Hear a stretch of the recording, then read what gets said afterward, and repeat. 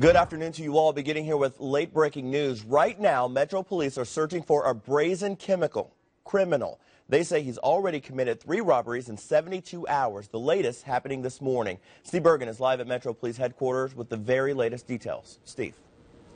Eric, Metro Police are extremely concerned about this individual and fear he may quickly strike again. He hit this morning around 7:30 at the Speedway on Bardstown and Grinstead he was armed and got away with an undetermined amount of money. This was his third holdup in three days. We want to show you surveillance videos uh, from those three robberies. Four from the U.S. Bank branch in the 3000 block of Preston Highway, that is near Audubon Park.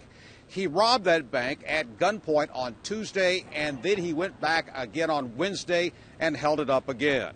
Now, the photo with the blue hoodie is from today's holdup at the Speedway. Police consider this man armed and dangerous. I mean, obviously, already hit us this morning, and as I said, anytime that uh, they display a handgun like that, there's always potential for it to escalate and there to be some violence. So we're very concerned about it, the public safety at this point. This man is described between five foot eight and five foot ten, weighing between 170 and 180 pounds. His age age range is between 30 and 40 years of age. He has a shaven head.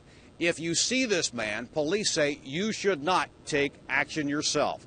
Instead, you should have called the anonymous tip line at 574 LMPD.